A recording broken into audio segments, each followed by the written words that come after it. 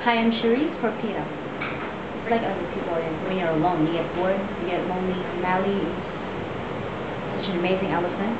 I just can't imagine how it feels for for Mali to be alone and not getting any attention that Mali deserves. And not only that, you know, she's not getting some like some serious and important care, you know, that she actually really needs. Send her to the sanctuary, uh, can you imagine little kids running, you know, with, with toys, like playing around with friends? Just imagine that and put it in Mali's situation.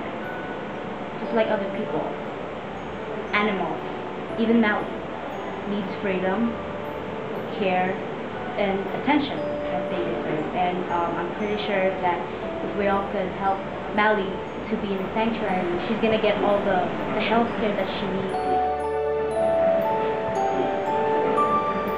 Free Mali now.